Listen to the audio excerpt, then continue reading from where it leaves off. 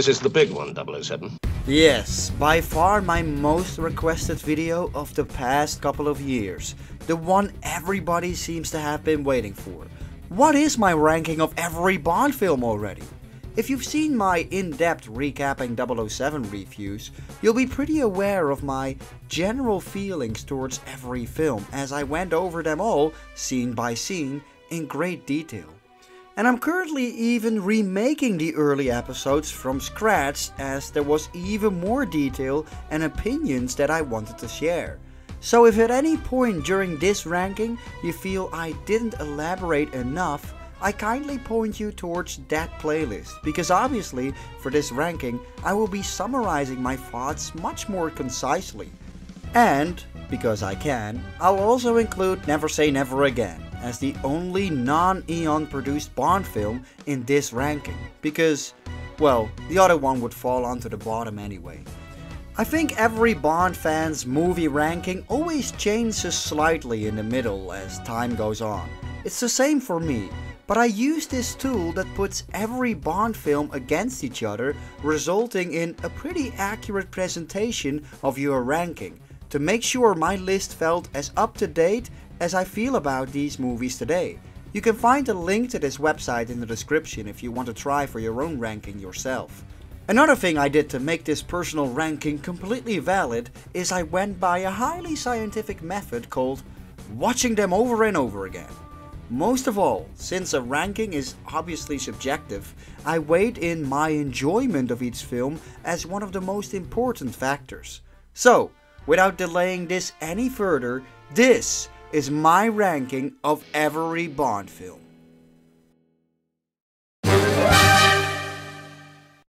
I never made it a secret that Diamonds Are Forever is my least favorite Bond film despite it starring my favorite Bond actor in Sean Connery, who does get some fun moments in there. I tend to notice little things like that, whether a girl is a blonde or a brunette.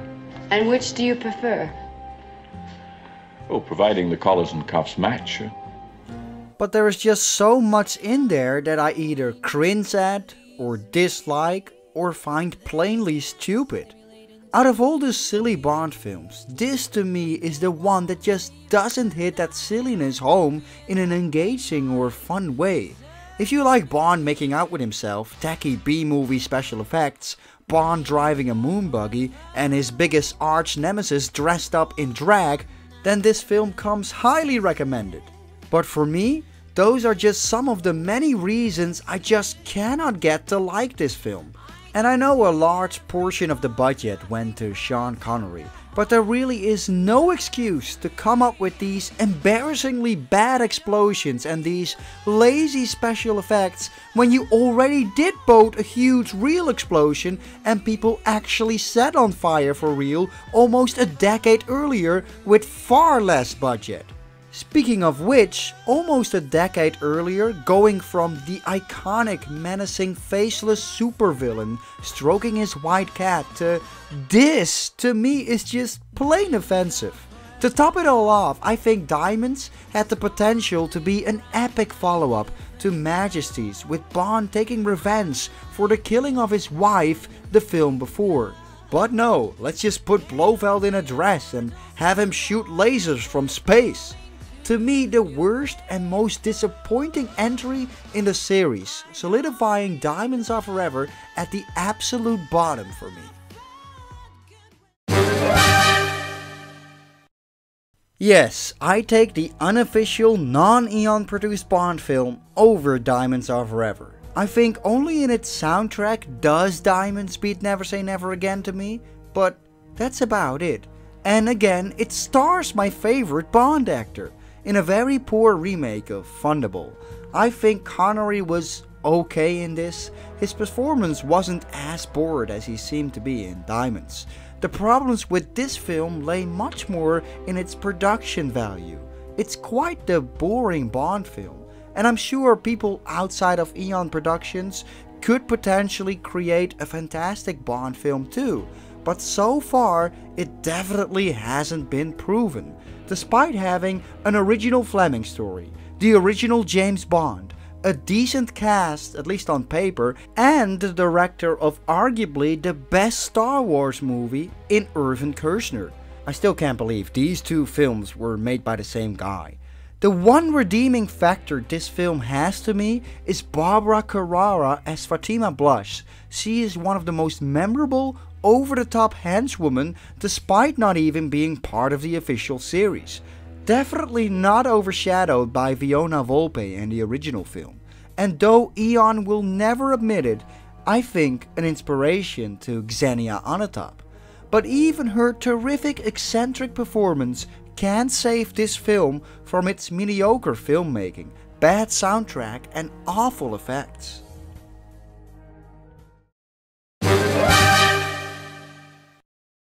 To me, Quantum of Solace was definitely one of the worst Bond films in the franchise, and obviously it wasn't helped being produced during the 2008 writer's strike, which evidently hurt the film.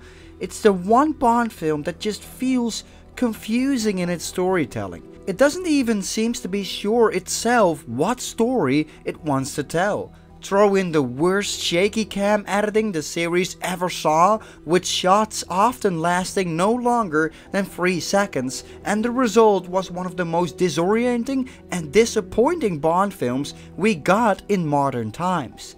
It's a real pity because, much like Diamonds Are Forever, it followed the death of a prominent Bond girl the film before, and while Quantum did end up becoming a sequel, it really didn't do that much with the whole Vesper storyline. Instead, it took all kinds of convoluted detours concerning oil and water and some Bolivian general, and it just keeps on raising confusion. It's a real shame because again, I think the film had huge potential and wanted to be so much more meaningful and enjoyable than I feel it was.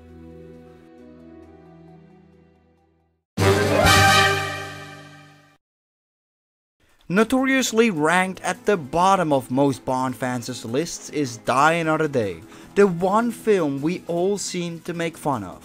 It's probably no coincidence that my Die Another Day review is my most watched episode. I'll give it an however though. The first half of the film is pretty decent. Everything leading up to the clinic in Cuba is not that bad. I will actually go as far as saying the film started off extremely promising with huge potential.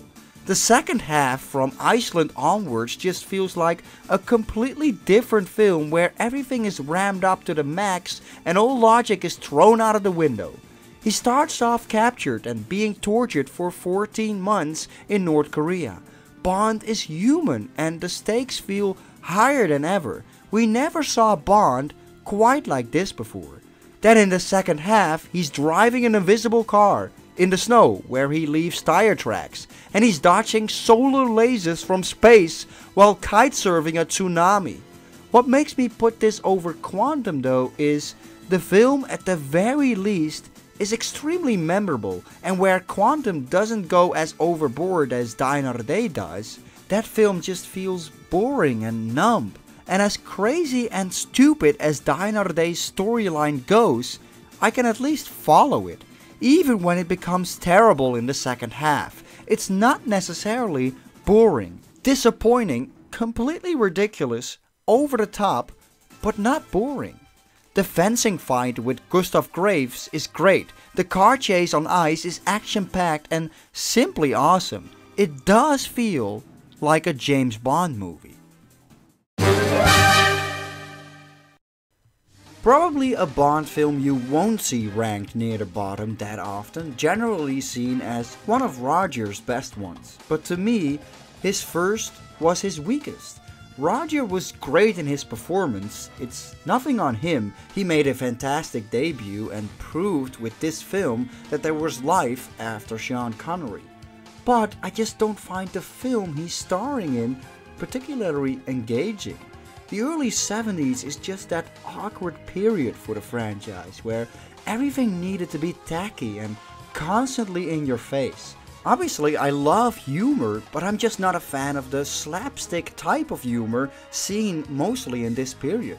Sheriff J.W. Pepper just sticks around for such a long time in this film, and the gags with him just go on and on, and it's just not funny to me.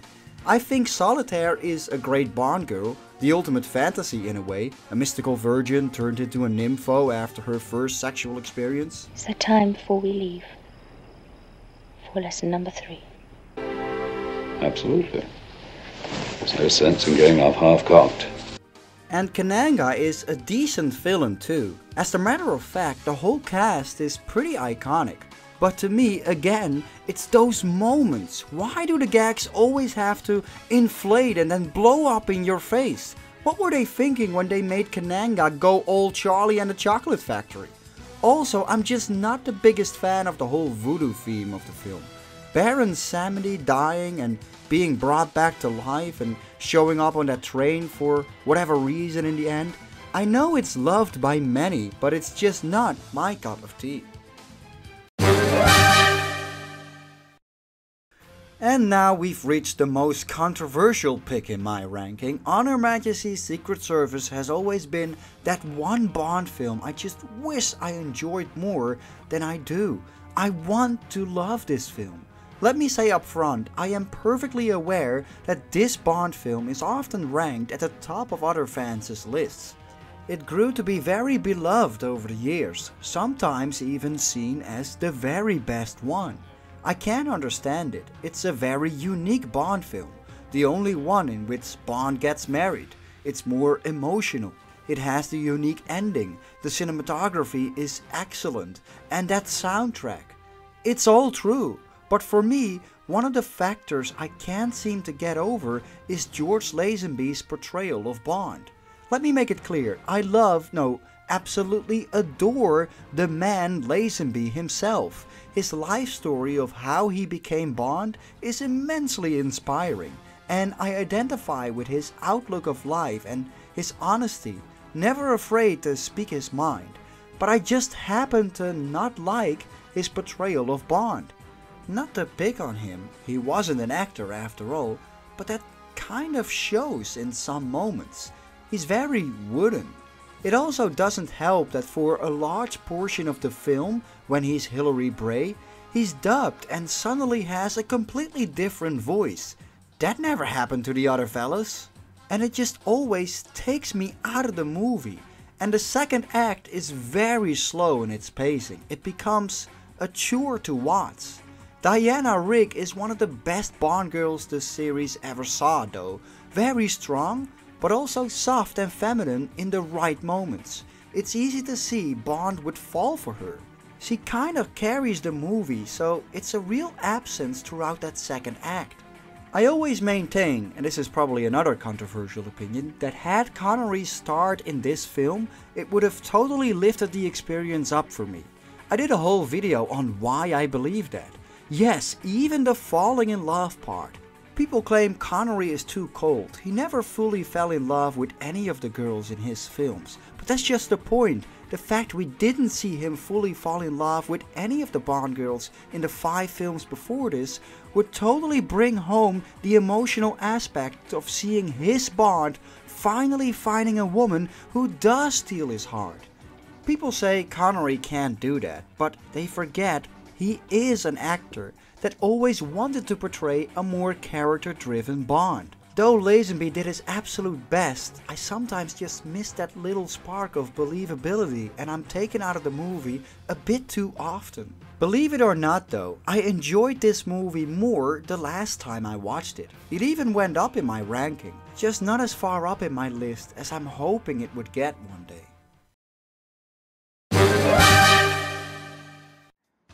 Roger Moore's final Bond film is a decent swan song.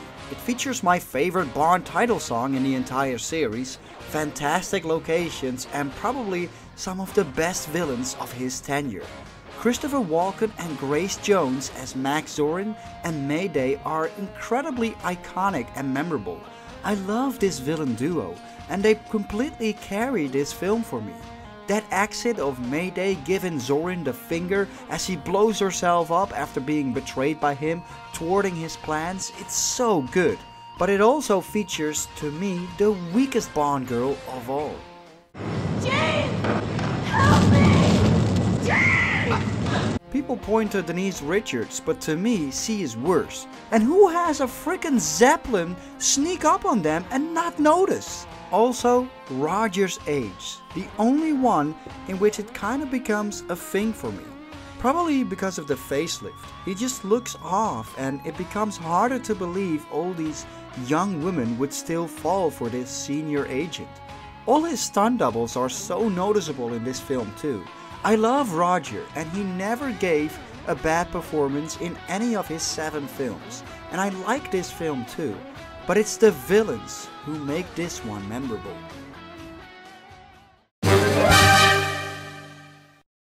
The Man with the Golden Gun is a film I honestly really enjoy.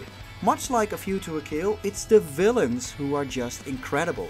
I mean, Christopher Lee, the only guy to be a villain in The Lord of the Rings, Star Wars, and Bond. Some people say they find this film too small in scale, a step down from Live and Let Die. But I honestly love the simple premise world's greatest assassin versus Britain's finest secret agent. The golden gun is the weapon I wanted as a kid, put together by everyday objects. And his island too, it's such a great and Bondian villain layer. I also always liked Nick Nack as a very unique henchman and even Sheriff J.W. Pepper I find a lot funnier here than he was in Live and Let Die, despite being much more out of place in Thailand out of all places. The corkscrew stunt is impressive, and I still find it such a sin that they put that slide whistle over it.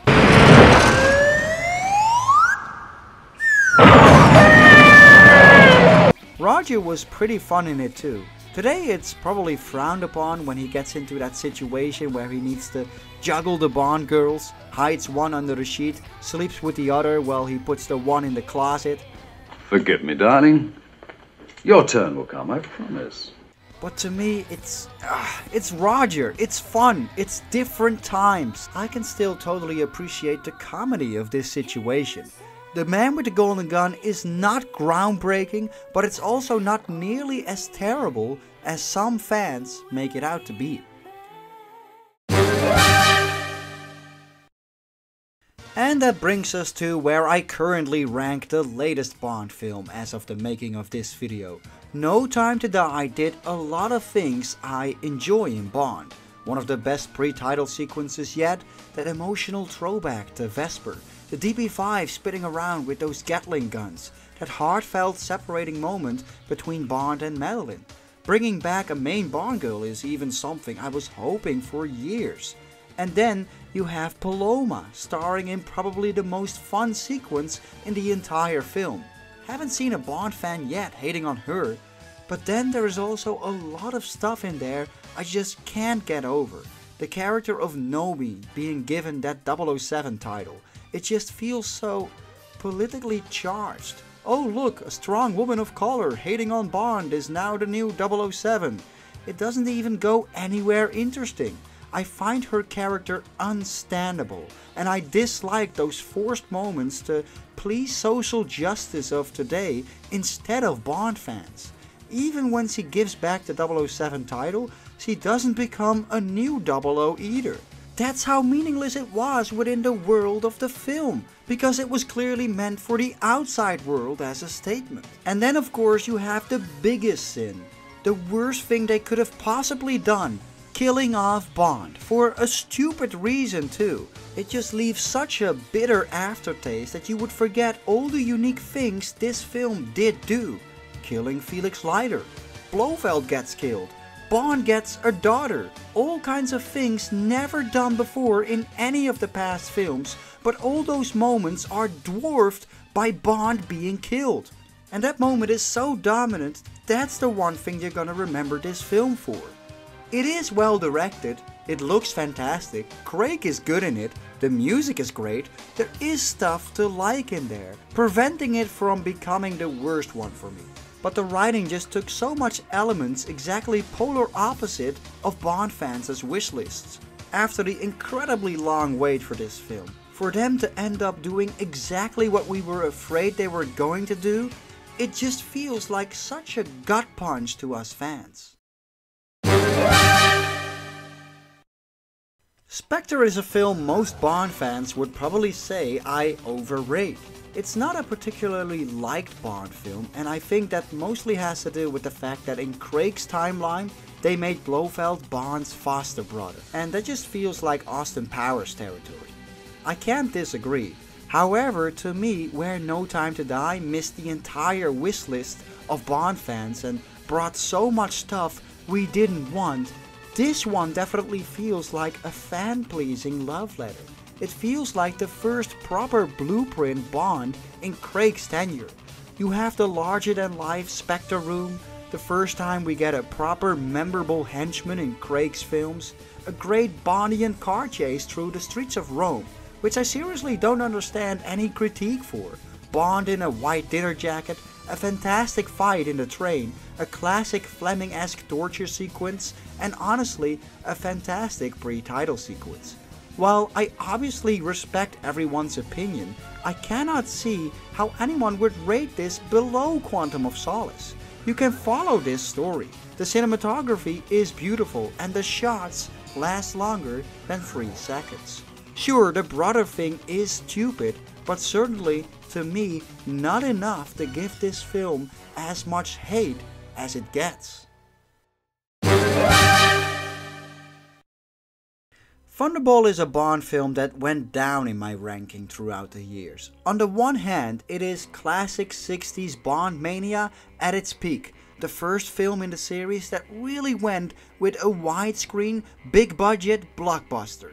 On the other hand, the film does suffer from pacing issues. The underwater scenes, while gorgeous, tend to drag and there are a lot of them. I even heard so much footage for this film ended up on the cutting room floor, but still the film feels slow in places. There is a lot to like in it too. Connery is still in top form, delivering probably his most funny performance in this film. So, what sharp little eyes you've got. Wait till you get to my teeth. Also, I seriously think this film has the most attractive lineup of Bond girls. I mean, Domino, Fiona Volpe, Patricia, even Paula. And did I mention Domino is really hot? I also like the story, truly making it feel like the first Bond film where the whole world is in danger and only one man can stop it. You get the Spectre headquarters, villains throwing their goons to the sharks after they failed, Bond being badass, one-upping the villains, getting the girls, simply looking the business. It is definitely classic Bond, and I always love the exotic Bahamas setting. It makes you want to go on vacation. It just happens to feel like a bit of a slow Bond film. We know from the start who took the nukes. We're shown in great detail how they do it there is nothing left for us to wonder about. So we're just spending the majority of the film waiting for Bond to reach that same point and catch up with us.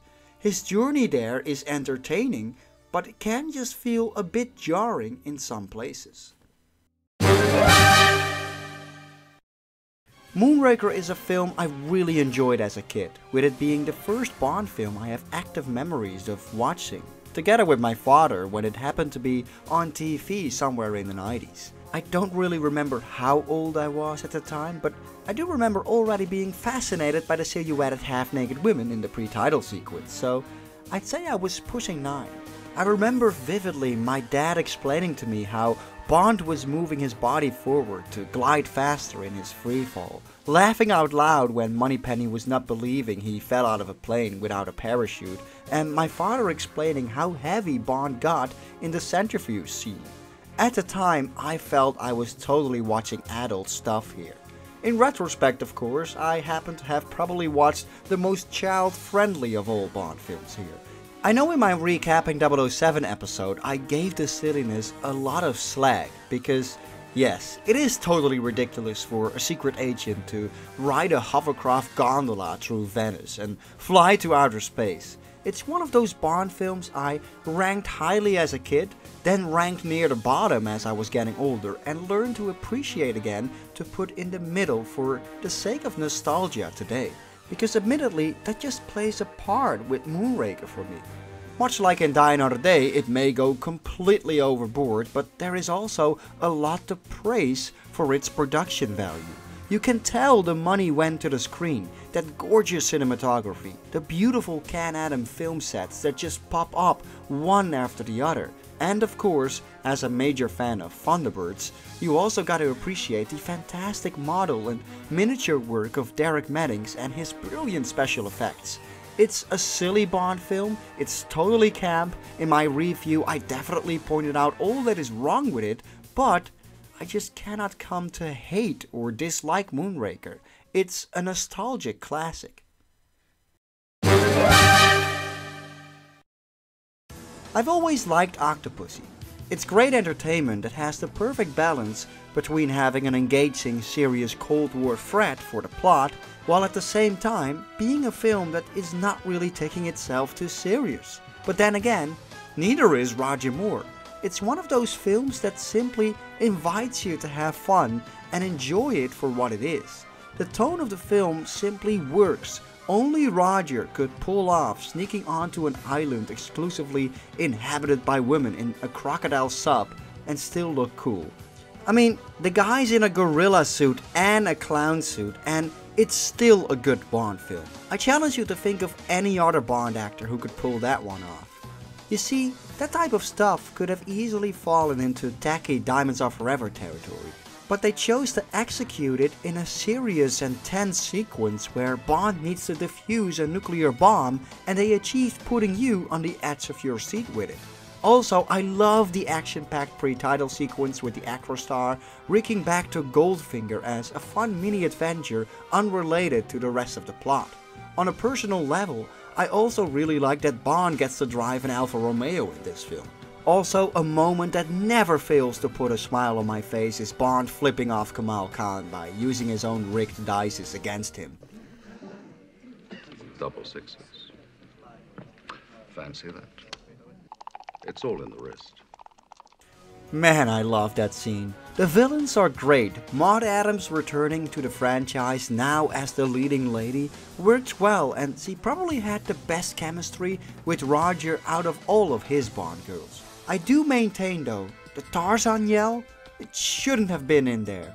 At least it's brief, but I can't help but cringe every time that part comes up. That doesn't take away from the fact that it's an entertaining watch, one I always seem to have ranked in the middle of the pack, and that hasn't really changed. Dr. No is one of those Bond films I learned to appreciate more as I got older. It really is a terrific start and introduction to the cinematic Bond, and Sean Connery to me solidified himself as the best man to ever portray Bond. To me, he was James Bond, straight from his debut.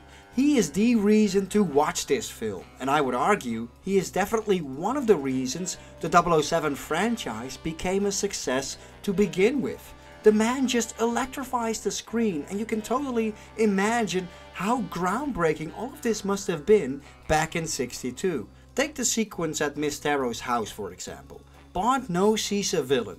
He cheats death. He shows up for his date with her anyway. The way he portrays both that dangerous yet charming side. He totally sells it and it tells you everything you need to know about the character of James Bond. To me, this scene should be one of the mandatory audition scenes for any future Bond actor. Imagine in the 60s, all of a sudden, here you had a supposed hero who would sleep with the girl on the villain's side, have her be arrested after using her for sex, and set out a trap for the killer sent out to get him. And when he does, he simply kills him too, smoking a cigarette, looking to business. To me, this movie is not vanilla. This is still what makes Bond such a fantasy, and what made guys like me still talk about this film over 60 years later. And I mostly even was just talking about that one scene. I haven't even mentioned Ursula Andress. If every woman wants to be with Bond and every man simply wants to be him, then I think every girl wanted to be like Honey Rider and every man wanted to be with her. Despite her rather simple role, no one can deny when thinking of the term Bond girl, she comes to mind as the most iconic one. I also love how the villain isn't shown until the third act of the film, yet his presence is felt throughout and there is the whole mystery vibe surrounding the film. It's such a classic. When I was younger and mostly was just looking for action scenes, obviously Dr. No falls short. But it offers great intrigue and characters. I only wish the soundtrack was better for the film. But overall, had Dr. No not been such a success, I probably wouldn't have had this YouTube channel to begin with. It's a film I grew to have tremendous respect for.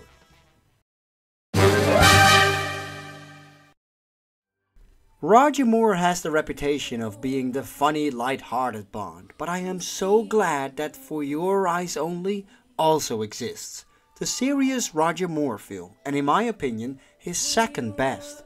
The franchise has had a few of those more serious down-to-earth spy thrillers, and this is like Rogers from Russia with Love in a way. Instead of the Lektor, we just have the ATAC this time. Melina is a great change of face for a Bond girl, not being the usual right-hand secret agent that Roger got to deal with in the three films preceding this.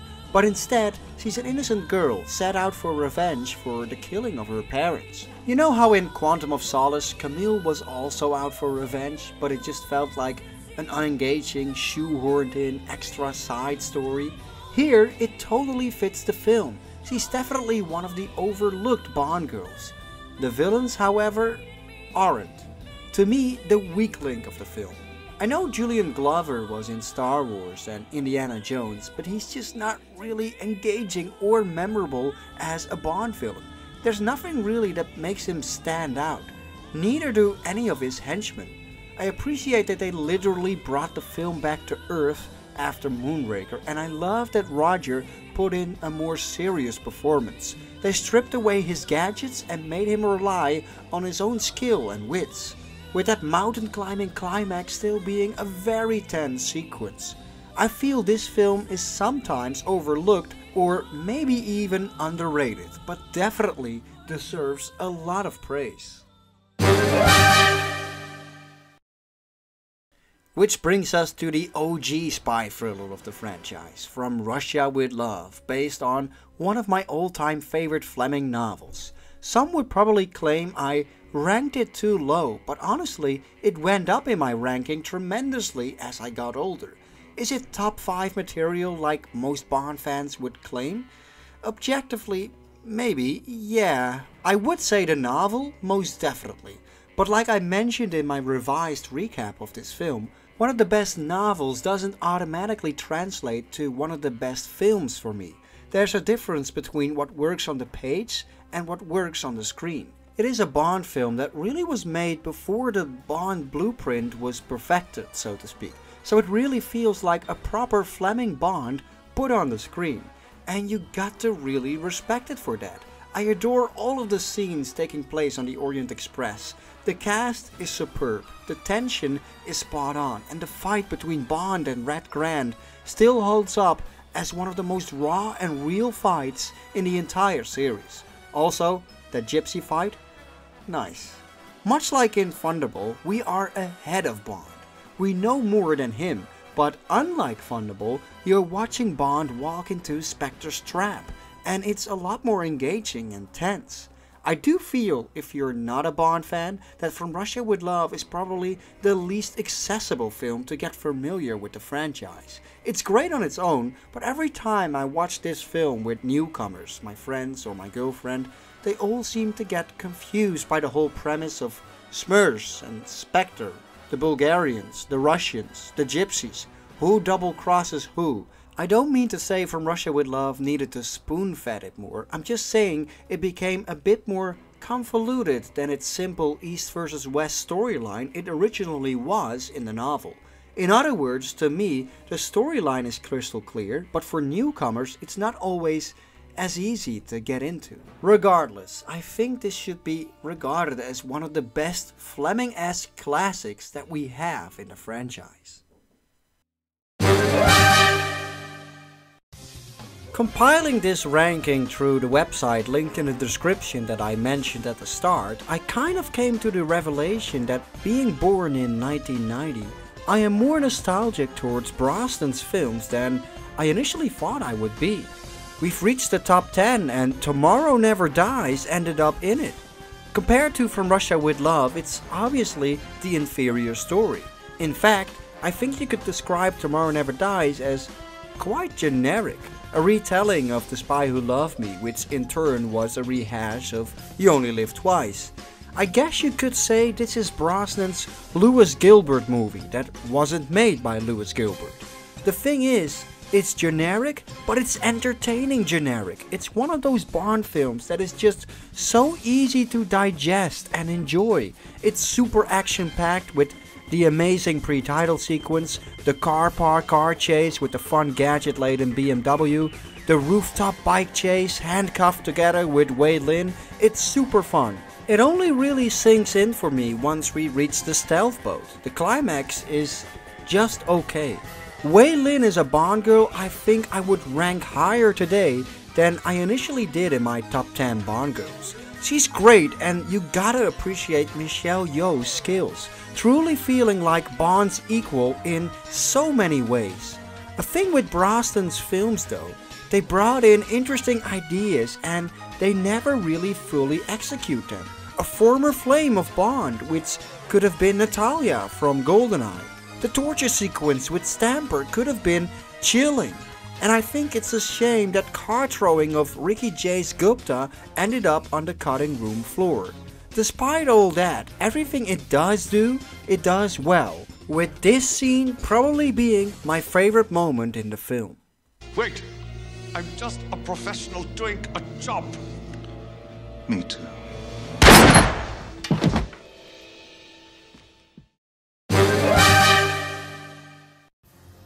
And The World Is Not Enough made the lower half of my top 10 too, I guess. I had plenty of critique to give this film in my full analysis, but honestly, it brought a lot of interesting new ideas to the series. For one, having Bond fall in love with the woman who turns out to be the main villain is genius.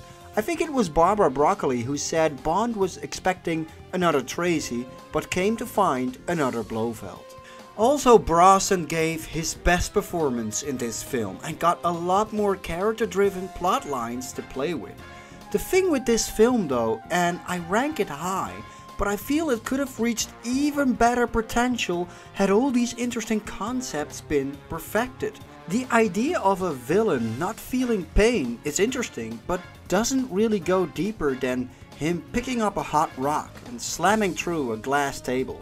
The same holds for Bond getting injured, though it becomes part of the plot for a little bit. Later on he's capable of swimming pretty much from the bottom of the ocean with an injured shoulder. Or what about the way in which Elektra manages to make Bond crack and fall for her when he was swearing he wouldn't do anything with her? All fantastic ideas that lack in its execution. What makes me still rank this high then? Elektra King is among one of the best villains ever conceived. The pre-title sequence is one of the best and most action-packed. M gets kidnapped. Robbie Coltrane returns. There is so much still to like. Sure, you could point to Denise Richards being the weak link of the film, and you'd be pretty correct, but hey, she's very easy on the eyes. Much like For Your Eyes Only, a film I think gets massively overlooked. Definitely the guilty pleasure in my ranking. You Only Live Twice is classic prime 60s entertainment and I just eat that stuff. That hollowed out volcano has got to be the best villain lair in all of Bond. In so many ways does this film remind me of Thunderbirds. The opening sequence in space, the way the volcano layer opens up and a rocket flies out, panels full of buttons and all of that good stuff. Furthermore, they really brought Japan to life with this movie, truly feeling like a travelogue adventure where you get to soak in the culture. I also adore the music and the cinematography in this film, and the little Nellie. Sure, the film does have its flaws. Bond turning Japanese did not work at all. Even the film itself seems to forget about it when Bond reaches Blofeld and his hair is so completely back to normal and his chest hair is back by the climax. A lot of the plot falls thin when you really start questioning it, but damn is it entertaining. Though Connery is past his A game by this film, I never found his performance to be dull or boring. He still does fine by my liking. For some fans, this film is a complete disaster. For me, it simply works.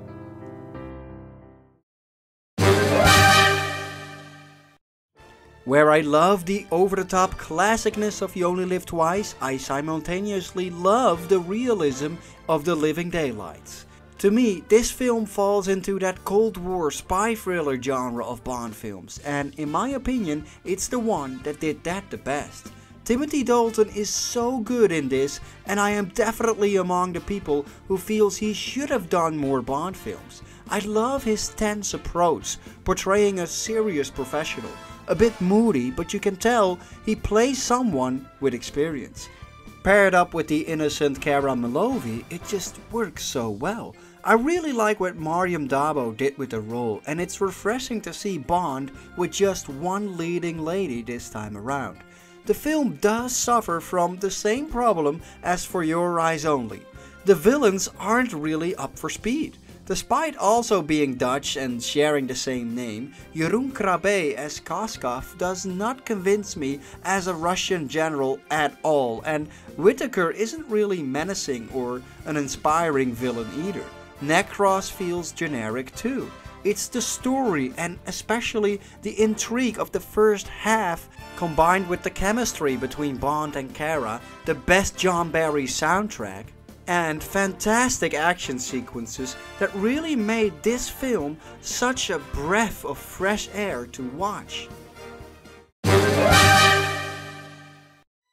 We're getting into the ones I consider top tier now. The Spy Who Loved Me is by far the best Bond film of the 1970s and my favorite Roger Moore film. If someone who never saw a Bond film wanted to know what Bond is all about, I'd show this one. It ticks all the boxes the larger than life villain with world domination plans living in an extravagant lair, the gadget laden car, Bond being cool, attractive, beautiful women, lots of action, a globe spanning plot, a super iconic henchman.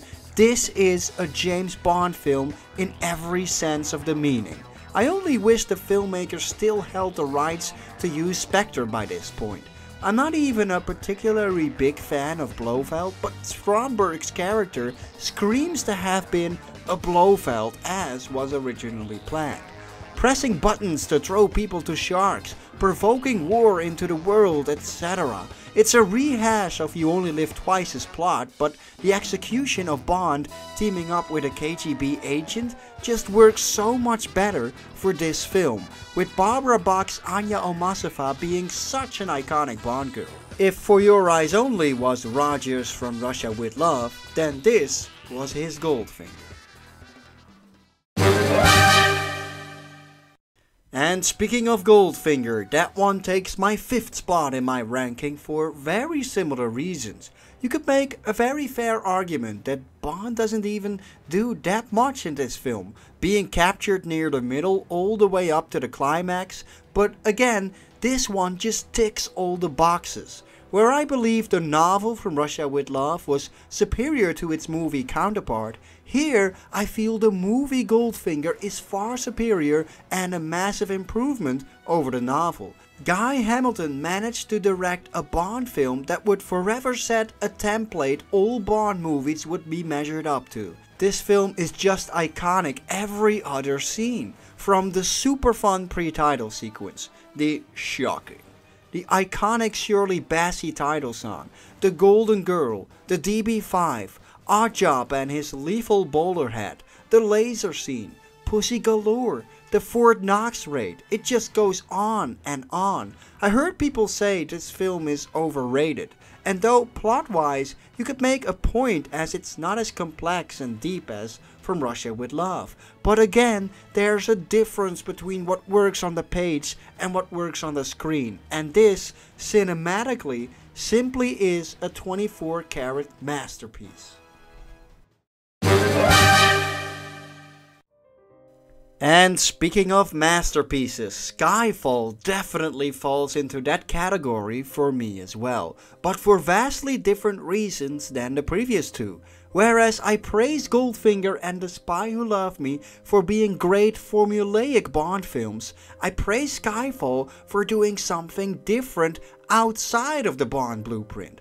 Instead, this is just a darn good film, absolutely beautifully shot, maybe the best looking Bond film to date. And while the plot certainly gets contrived near the second half, to me it's never spoiled and remains to be super engaging until the very end. And I think Silva is a major reason it remains so entertaining. I love what Bardem did with this character. He felt very fresh, scary, yet funny, and he's not a Bond villain out to get Bond. He's out for M which in itself is a super interesting idea. The death of Judi Dench's M is very emotional, essentially a goodbye to a whole chapter of my childhood. There's no main Bond girl in this one, again steering away from the usual formula. You could say that M is essentially the Bond girl in this one. Severine, I wish she was in this film more. Her character was very mysterious and intriguing and obviously smoking hot she went a bit too soon.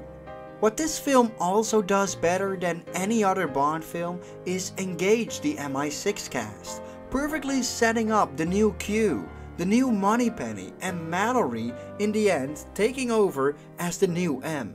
Also, the dialogue and humor is great, it has its iconic moments. I feel Skyfall will definitely be remembered as one of the greats as time goes on.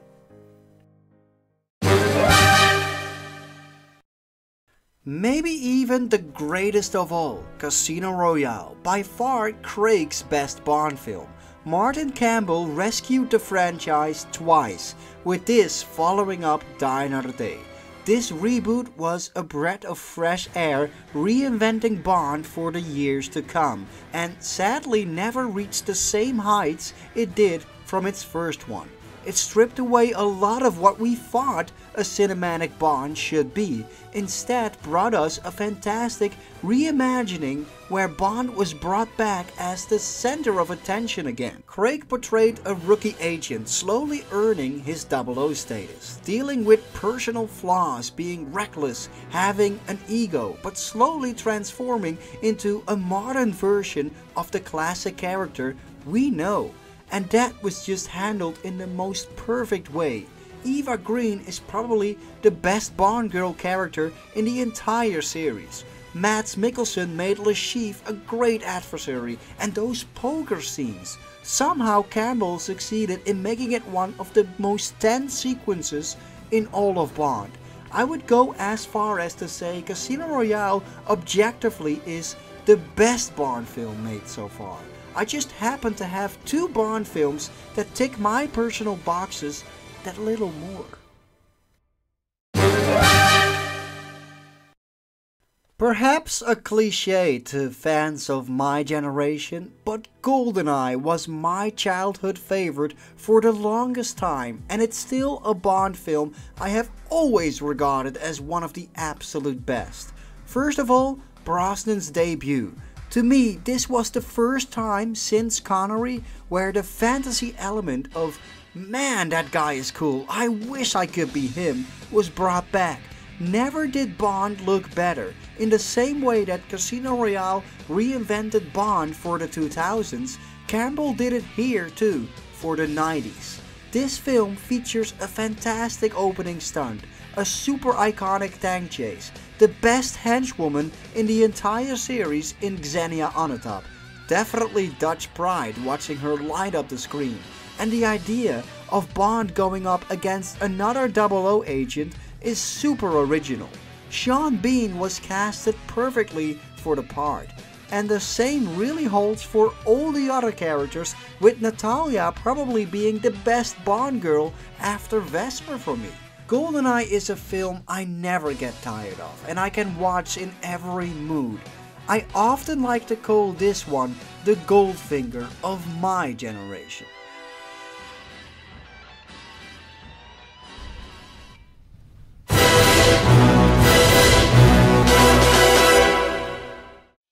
If you've been following my channel, you won't be surprised to know my favorite Bond film is License to Kill. Is it the most iconic one? No. Is it the best looking one? No, far from it. But it is the one I feel was written the best and featured the best Bond villain in the series. You know how people always say a film is only as good as its villain? Well, look no further than Robert Davi's Franz Sanchez. I want you to know this is nothing personal. It's purely business. I think License to Kill's uniqueness can truly be appreciated when watching these films in order. After a long period of silliness and light-hearted entertainment, here we are brought into a very raw and mature Bond film that mixes the crime genre with Bond. When a Bond villain would press a button to have his minions be feeded to piranhas or sharks, there was always the cartoonish irony to it. Not here. Here's a guy who rips out someone's heart, has Felix's leg bitten off, and his wife be raped. This movie is not messing around and the fact that Bond is forced to go rogue for the first time in the series just wakes you up watching this in order. This one just hits different. Dalton is not my all-time favorite Bond actor, but he is spectacular in the part. And the way he and Pam have to single-handedly try to take down this invincible drug lord is written in such a clever way. He can't just barge into some villain lair and save the day like he usually does. Sanchez is the type of villain that could exist in real life, that has the entire country in his pocket. But Sanchez happens to value loyalty, which is the exact attribute Bond tries to use against him, making him distrust his own people to slowly take him down. Again, brilliant writing and I'm even a passionate defender of Talisa Soto's Lupe, which to me gets flagged for bad acting way too often and is completely misunderstood to be a bubblehead. She's actually super smart, trying to make everyone believe she's just there for window dressing, but she knows what she's doing. She knows the reaction she triggers on Pam, deliberately even looking if she's watching when she's about to kiss Bond, and she knows how to use her beauty to manipulate men, Bond included. There's a lot of subtleties to her part I think go over people's heads here. Also, people claim it's too much of an 80s Miami Vice-like movie that doesn't feel like Bond, but there's also that badass water skiing escape, only James Bond could do that. Not even the villains believed he did it. The climax too, it still holds up. The way it all comes full circle with Felix's present, I can go on and on forever on why I love this Bond film so much. To me, this is not the one that executed the Bond formula the best. It's the one that steered away from the formula the best, while simultaneously still being a James Bond film. A very, very well written one. So that's it for my ranking of every Bond film. I really hope you enjoyed this long overdue, massive project. I am exceptionally interested in other Bond fans' rankings and their reasoning for why a film is ranked where it is. So please leave your thoughts on my ranking as well as sharing your own rankings. Like if you enjoyed this video, subscribe if you haven't, and take a look at my Patreon page if you're interested in supporting this channel. For now, see you guys again in the next video.